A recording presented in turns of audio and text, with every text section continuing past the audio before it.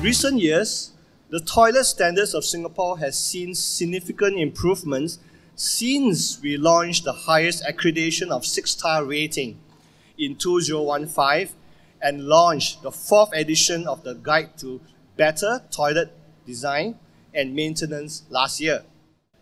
As Mr. Ho said, to adopt smart technologies in their toilets. Smart solutions increase productivity as defects problems are quickly detected and the cleaning companies are kept automatically informed, you know, through your WhatsApp, for instance, messaging.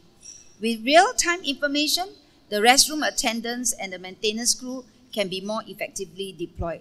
So this will allow for timely resolution of issues and cost savings in the long term.